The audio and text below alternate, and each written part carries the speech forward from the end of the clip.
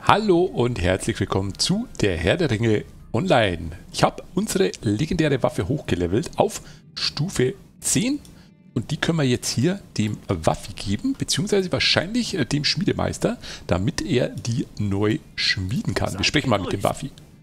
Das habt ihr sehr gut gemacht, Tollfuß. Eure Waffe hat wirklich ein beeindruckendes Niveau erreicht. Da hat er natürlich recht. Da eure Waffe nun die zehnte Stufe der Weiterentwicklung erreicht hat, kann ein Schmiedemeister sie für euch neu schmieden und dadurch ihre verborgenen Stärken und Fähigkeiten ans Land bringen, äh, ans Land, ans Licht bringen. Vielleicht birgt eure Waffe die nötige Macht, um es mit der Kreatur aufzunehmen, die im stillen Teich lauert, Tollfuß. Damit wir sehen, ob dies der Fall ist, solltet ihr sie zum Schmiedemeister bringen, um sie neu schmieden zu lassen. Machen wir. Aktuell ja, geht ja auch nichts weiter. Man muss hier weiter schmieden, damit man hier weiter aufsteigen kann.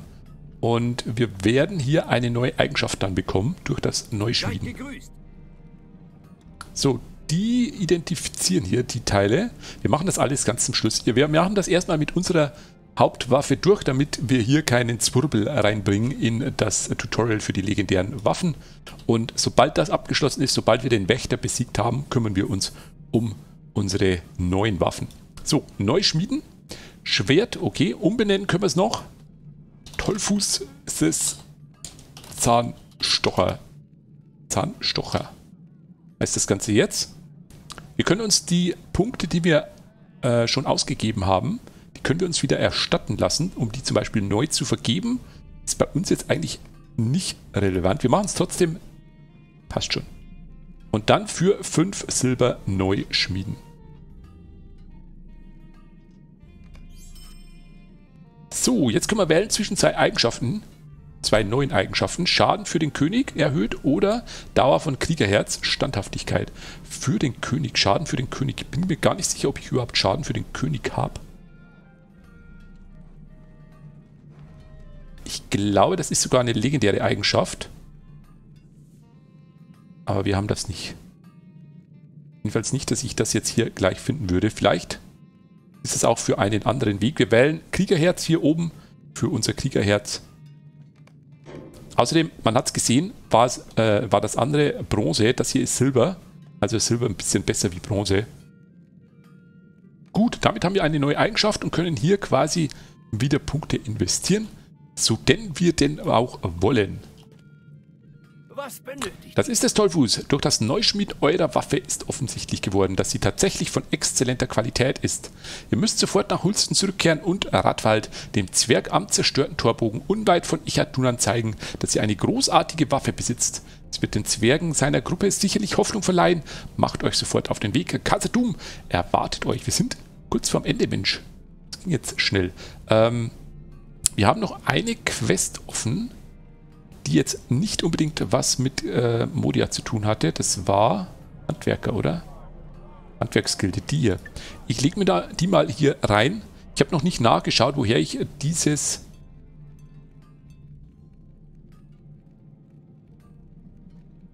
Hm. Woher ich diese, äh, dieses Rezept bekomme. Ich überlege gerade, ich habe ja immer nach dem Wappen gesucht, aber das ist ja die Belohnung. 50.000 Punkte für die Schmiedegilde. Wow. Hm. Führt das Rezept für den Kettenringpanzer mit Gildenmuster aus. Dann habe ich... Oh, ich habe nach dem Falschen gesucht. Echt jetzt? Ketten? Ah, ist auch nichts. Ringpanzer. Kettenringpanzer mit Gildenmuster. Wir schauen nochmal kurz hierher. Können bei Händlern für verbesserte Rezepte erworben werden. Hallo?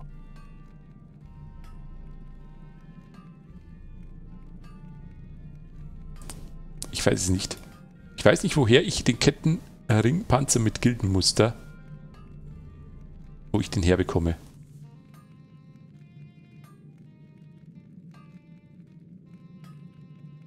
Gilden. Komischerweise findet er hier auch gar nichts mit Gilde. Müsste eigentlich Schmiedegilde zum Beispiel finden. Schmiede. Gil.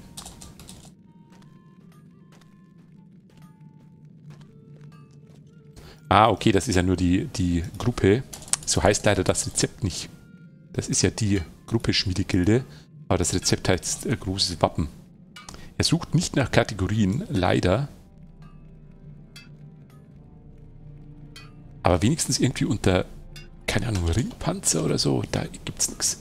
Ich fürchte, ich muss mir irgendwoher noch das Rezept holen. Aber wir haben sowohl hier als auch in der Schmiedegilde schon mal geschaut, ob wir noch offene Rezepte haben. Wir schließen erstmal die Quest ab in Echatun, beziehungsweise dann in Modia. Und dann werde ich in den Zwischenfolgen nochmal nachschauen, wo ich den Kettenringpanzer herbekomme, beziehungsweise das Rezept. Moment, da stand jetzt gerade irgendwas mit Stufenaufstieg aus. Das ist, äh, das liegt daran, weil der Gegenstand nicht ausgerüstet ist, oder? Nee. Jetzt ist er ausgerüstet.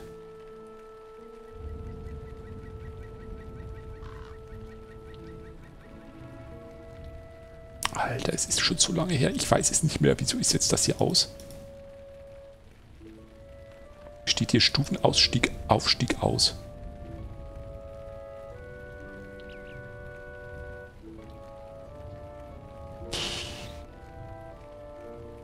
Wir werden mal die Punkte investieren jetzt hier.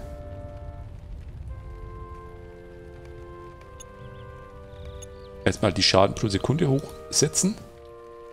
Und dann kritische Treffer über Mannen, Wächterschild. Wir nehmen mal Wächterschild. Haben noch drei Punkte übrig, die wir leider nicht mehr investieren können. Ah, jetzt ist es weg, komischerweise. Na gut. Sei es drum, es ist fantastisches Wetter jetzt hier. Wunderschön.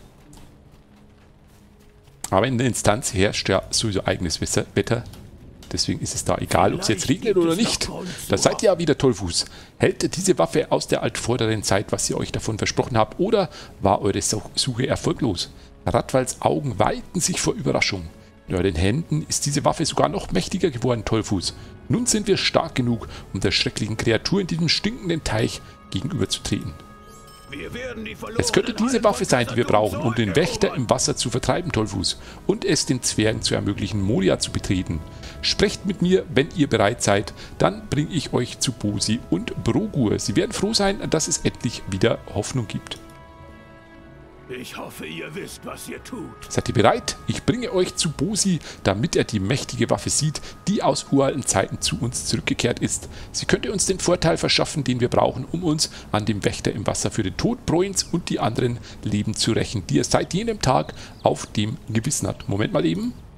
Wir haben ja auch noch den Bingo, eine Aufgabe offen. Ich, ich will mir die rauslegen, weil ich die sonst wieder noch vergesse. Ach, ist eh schon hier draußen. In die wilde Dunkelheit. Ah, dafür müssen wir aber erstmal die Mauern von Modia komplett abschließen. Okay, los geht's. Die Kreatur, die die Zwerge den Wächter im Wasser nennen, ist gar grausam. Ein uraltes Übel, herbeigerufen vom dunklen Herrscher. Vielleicht weist die Kraft der Legende einen Weg am Schrecken vorbei. Ein uraltes Übel. Die niederträchtige Kreatur, die uns aus der Tiefe des Teiches beobachtet, wird den scharfen Biss eurer Waffe spüren und von Furcht befallen werden. Geht und lehrt sie eine Lektion, die sie nicht vergessen wird. Nicht nur für Kasatum, sondern auch im Andenken an Broin, der von dieser grausamen Kreatur getötet wurde. Mein Neffe hätte ein besseres Schicksal verdient gehabt, als in den Fängen dieses Wesens zu sterben. Wenn ihr die Kreatur getötet oder vertrieben habt, können wir ungehindert nach Modia hinein. Einer meiner Zwerge ist vorausgegangen, um nach der Bestie Ausschau zu halten. Sucht ihn auf und seid wachsam. Machen wir. So, was bekommen wir für unser silbernes Geschenk? Zeichenerwerb. Wunderbar. Oh, da sind wir schon. Das hat sich ja sehr gelohnt. Diese Hallen werden wieder in alter Pracht erstrahlen. Das sind kleine Wellen auf dem Wasser, aber ich kann die Kreatur nicht sehen. Seid wachsam, denn sie könnte ohne Vorwarnung angreifen, was auch dem unglücklichen Bräun zum Verhängnis geworden ist. Oh, jetzt kommt er. Da ist er. Oh, oh, oh mein Gott, da. Uiuiui. Da hat er jetzt aber hier ordentlich den hier schön hier auf die auf den Boden geklatscht hier. Meine Güte. So, das war einfach, sehr einfach. So. Wir sind noch nicht fertig.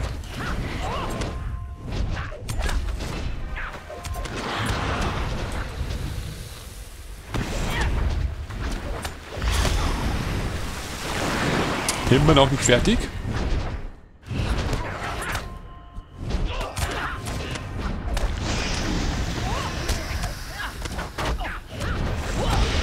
Muss ich echt in diese grün-schwarze Suppe hier reinlaufen? Damit wir hier angreifen können, ne? Ich werde mich nicht mehr länger meiner Trauer ergeben, Tollfuß. Nein, ich werde meinen Sohn im Kampfe rächen. Der Brogu ist das. Und wehe der Kreatur, die ihn mir genommen hat.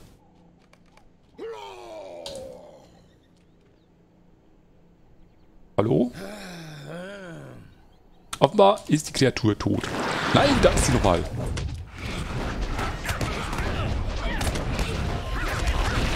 Ich bin aber auch irgendwie der Einzige, der hier reinschwimmt.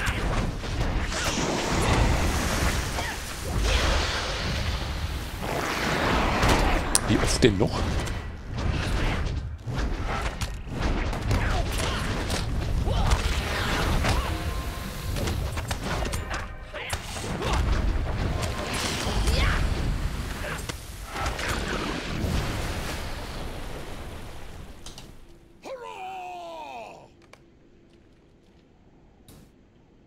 Wir haben es geschafft, Tollfuß. Wir haben den Wächter von den Türen von Turin verjagt.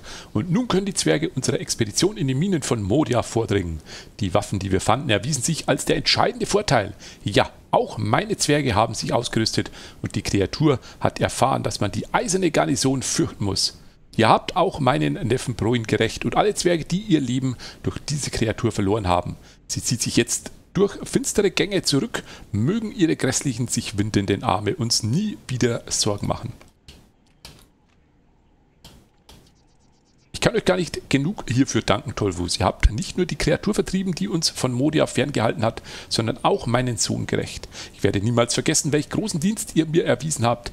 Ich werde immer in eurer Schuld stehen und euch zu Diensten sein.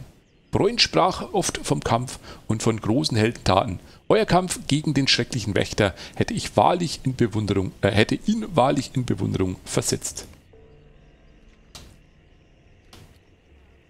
Wir müssen zurückkehren und den Rest der Expedition von euren Taten berichten. Okay, ja, machen wir gleich.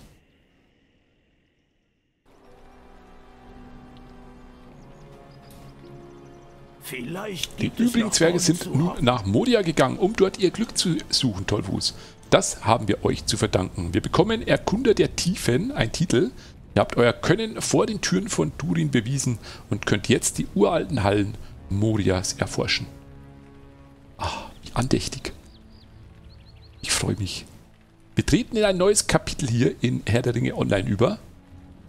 Erkunder der Tiefer, der Tiefen. Ähm, und wir bekommen noch einen Helm. Entweder, ich ziehe mal eben wieder meinen Mantel aus, damit wir den auch sehen. Okay. Der Vermeider eine mittlere Rüstung. Schwere Rüstung. Oh, der sieht gar nicht mal schlecht aus. Oder Flüchtiger des Wachtmeisters. Auch mittlere Rüstung. Wir nehmen natürlich die schwere Rüstung. Wobei, ah, er ist leider nicht gut genug. Schade, er ist nicht gut genug. Ganz ehrlich, ich würde ihn aber als Zielwerk jetzt anziehen. Ich würde ihn gern als Zielwerk anziehen. Ohne Mantel, nur mit Helm. Weil der ist schon ziemlich gut. Der ist auf alle Fälle schöner wie unser hier unser Stierkopf. Aber von den, von den Werten her passt er halt leider nicht. Na gut, wir nehmen den mal. Jetzt beenden. Vielleicht gibt es noch Grund Tulk wartet hinter den Türen von Turin, um mit euch zu sprechen. Ihr erinnert euch doch an ihn, oder? Er ist froh, dass ihr der Expedition so gute Dienste geleistet habt und wird gern erneut mit euch sprechen. Soweit ich weiß. Und so geschah es, dass die eiserne Garnison die Türen von Durin durchschritt und die Finsternis Morias betrat. Doch sie waren nicht die Ersten, die sich in die Minen wagten. Noch werden sie die Letzten sein.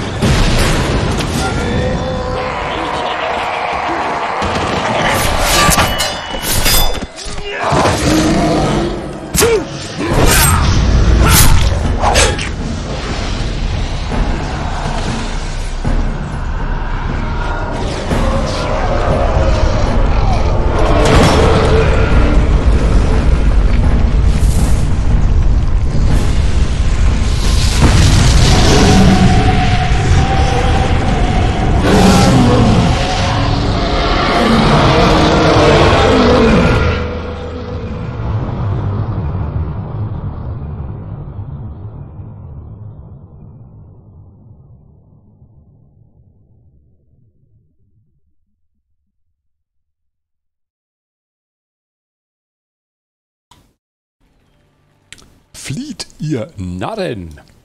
Schöne Zwischensequenz. Wir werden automatisch hier hoch teleportiert. Die Steine sind weg. Der Weg ist geöffnet hier hoch. Wir gehen nochmal kurz hier rein. Erkunder der Tiefen haben wir uns schon angeschaut. Ja, und jetzt stehen wir vor den Toren von den Minen von Moria. Jetzt ist die Frage, wenn wir reingehen, wir werden natürlich jetzt gleich mal reingehen noch, vom Staffelende, hm, dann ist hier drinnen nochmal ein kurzer Vorbereich, wo man auch Quests macht. Ich bin geneigt, diese Quests noch zu machen, damit wir bis... Damit wir vielleicht bis zu, ich glaube in der Großbinge war das, bis nach Delfblick kommen. Das würde ich gerne noch machen. Hier ist der Vorbereich. Ich glaube, hier musst du dann noch ein paar Quests machen. Dann wirst du rübergeschickt Richtung Delfblick. Und in Delfblick würde ich dann die Staffel erstmal beenden. Genau, sprecht mit Tulk, fügt das Rezept, bla bla bla, schließt Band 2, Buch 1. Haben wir das jetzt abgeschlossen schon? Band 2, Buch 1 ist noch nicht abgeschlossen. Nee, wir müssen noch mit Tulk sprechen. Also, wir betreten die Mauern von Moria. Ah, das ist immer ein ganz besonderer Moment, muss ich jetzt schon mal sagen. Oh, jetzt hält er schon wieder inne und geht nicht rein. Was ist denn los mit dem? Es ist halt trotzdem, ne? Es ist ein besonderer Moment, weil die Minen von Moria ein richtig geiles Add-on waren. Oder ein richtig geiles Add-on immer noch ist. Und da haben sie sich meiner Meinung nach selbst übertroffen, als sie das gemacht haben. Und äh, meiner Meinung nach neben dem Auenland die coolste und schönste Umgebung. Auch wenn es sehr verwirrend ist drinnen, auch wenn die Kartennavigation nicht wirklich funktioniert, weil alles drunter und drüber liegt in unterschiedlichen Ebenen. Aber es ist, es ist einfach so toll. Es ist so, so, so toll. Leider hat es jetzt ein schlechtes Wetter. Wobei, eigentlich ist es auch ganz gut. Dann müssen wir nicht mehr länger hier, raus, hier draußen stehen. Wir gehen rein in die Minen von Moria. Dann, dann, da. Eine neue Tat findet Durins Schwelle. Okay, also das ist die Expedition. Ich glaube aktuell, wenn man die Quest noch nicht gemacht hat, ich glaube, da kann man auch gar nicht weiter Richtung Delftblick. Deswegen ist man gezwungen, dass man hier weitermacht. Ah, guckt euch das an. Wie schön groß und prächtig das hier alles ist. Und die Musik. Ich hoffe, die hört man. Ich habe sie sehr leise eingestellt. Ah, ich liebe es. Die Musik in Modia ist so fantastisch. So, erstmal zum Stallmeister. Ich schalte mal die Namen ein, damit wir die Leute hier kennenlernen. Oh, wir könnten doch direkt nach Delftblick jetzt gleich reisen. Machen wir natürlich nicht. Wir haben hier den Vorratshändler. Können wir dir was verkaufen? Was wir machen ist... Jetzt pass mal auf. Was wir machen ist, wir rüsten erst noch kurz den Helm aus. Hm. Jetzt habe ich hier Zeichenerwerb genommen, oder? Ein, ein, eine Stunde 30 Minuten mehr Zeichen. Allerdings machen wir aktuell keine Zeichen.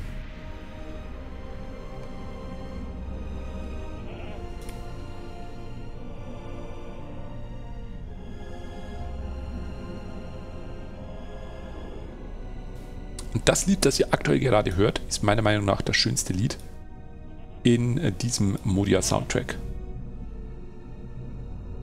So, also den Kapuzenumhang der Gasthausliga, den können wir eigentlich rausschmeißen, weil sobald wir den aktivieren, wird ja unser Helm wieder nicht angezeigt. Deswegen werden wir jetzt hier mit unserem fantastischen Spitzhelm herumlaufen. Markstein setzen. Hm, ich lasse mal Echert Dunan auch noch drinnen. Nur für den Fall, dass wir nochmal raus müssen für Bingo. Die große Halle, Turinshalle. Trollhöhen, Bruchtal.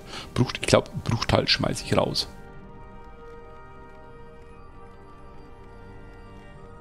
Wir schmeißen mal Bruchtal raus. Wer braucht schon die Elben? Nein? Oh, oder wir kaufen uns einfach nochmal ein und sind heute ganz dekadent. Ich habe noch 7000 Punkte. Komm. Wie viel gibt es eigentlich so Marksteinfertigkeiten? Jede Menge, 16 Stück, oder? Nee, 5. Was habe ich denn? Habe ich jetzt den, den letzten gekauft? 8. 9, 10, 11. 11 offenbar. Ich weiß nicht, wie so 5 und 6 hier noch ist. Na gut. Hm.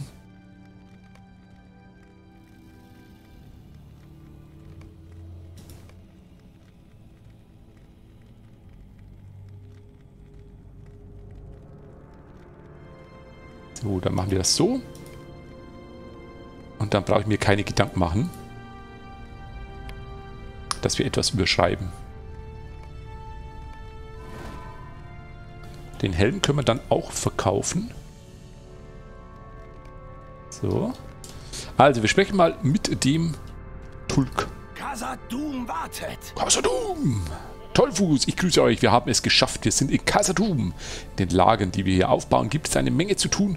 Ihr könnt uns bei der großen Aufgabe helfen, die vor uns liegt. Bosi hat mich gebeten, euch für eure Führungskraft vor den Türen zu belohnen. Nehmt dies als Dank von ihm und der gesamten eisernen Garnison. Macht natürlich Sinn, dass wir uns was hier, den Gürtel des Wächters zum Beispiel holen, das zweite Ausrüstung, den zweiten Ausrüstungsgegenstand. Die Zwerge werden obsiegen. Eine neue Tat. Beendet Buch 1 von Die Minen von Moria. Sehr gut. Hier und an anderen Stellen in den Minen gibt es noch viel zu tun, Tollfuß. Das war ein bedeutender Sieg für die eiserne Garnison, doch stellt er nur den Anfang unserer Mühen unter den Bergen dar. Ihr müsst unserem Volk hier in Durins Schwelle und in anderen Lagern helfen, wenn wir in Casadum siegreich sein wollen. Wenn ihr einige Aufgaben hier in Durins Schwelle erledigt habt, solltet ihr den, solltet ihr den Delfblick und den tiefen Abgrund besuchen. Sprecht mit Bent Adlerauge im Delfblick östlich von hier und mit Stilling im tiefen Abgrund in den Silberzinnadern. Sie werden euch sagen, wie ihr der eisernen Garnison helfen könnt. Also er schickt uns weiter nach Delfblick und die Silberzinnadern sind hier unten. Aber erstmal, hier ist noch eine Aufgabe. Zwei sind hier. Da drüben ist auch noch einer. Willkommen zurück in Moria, Tollfuß. Ihr seid zu einer ja, ihr seid zu einer bedeutenden Zeit zu uns gestoßen. Ich bin der Meister der Expeditionsgruppe hier in Durins Schwelle. Die anderen Expeditionsgruppen sind bereits weiter in die Tiefen von Casadum vorgedrungen, in Hoffnung, mehr über Balins Expedition vor vielen Jahren und dessen Schicksal zu erfahren. Meine Zwergengefährten haben es aus verschiedenen Gründen nicht leicht, sich einzuleben. Wenn ihr ihnen dabei behilflich sein könntet, wäre ich euch äußerst verbunden. Wir helfen den Leuten natürlich hier. Wir werden vor niemandem weichen. Hallo, ihr seht nicht zufällig, dass sich etwas in meinem Bett bewegt? In letzter Zeit schlafe ich unruhig, weil ich das Gefühl habe, dass etwas über meine Haut krabbelt. Ich weigere mich, in dieses Bett zu steigen, solange ich nicht sicher sein kann, dass ich darin allein bin. Seht ihr für mich nach, Tollfuß? Ich wage es nicht, die Laken anzufassen. Das ist eine fantastische Aufgabe, die erledigen wir mit Bravour natürlich. Ugh, Bettwanzen. Alter. Wir machen die gleich mal kaputt hier. Ich hatte einmal Bettwanzen im Urlaub. Ohne Scheiß, das empfehle ich niemandem. Das Bettwanzen sind einfach nur grausig. Wirklich, wirklich nur grausig. Klein, aber grausig. Wir werden Casadum für dein Eisenfuß zurückerobern. Ja, das ist unerträglich. Insekten, die genau da herumkrabbeln, wo ich meinen Kopf betten will. Inakzeptabel. Es ist nicht auszuhalten, das sage ich euch. Wo kommen diese abscheulichen kleinen Dinger her? Kaum sind wir einen Tag hier, leiden wir schon unter einer Insektenplage. Ich glaube, ich muss mich jetzt erst einmal gründlich waschen. Fun Fact: Bettwanzen kommen nicht durch Unsauberkeit, sondern die können einfach so kommen. Ja, also es muss nicht unbedingt dreckig sein in einem Zimmer damit Bettpflanzen kommen. So, hier ist nichts. Hier drüben sind noch Aufgaben. Da unten, das wird der mit äh, Bingo sein. Hier ist noch einer, der Radulf. Aber den machen wir erst in der nächsten Folge. Werden hier noch ein bisschen rumlaufen, werden dann auch noch unsere ganzen, wahrscheinlich verbrauche ich da sowieso eine komplette Folge, werden wir uns dann für eine entsprechende Waffe entscheiden. Und dann war es das mit der Staffel. Aber ich denke mal so, ja, ein, zwei Folgen, je nachdem, wie aufwendig diese Aufgaben hier drinnen noch sind, werden wir bestimmt hier noch machen. Macht's gut und bis dann. Ciao.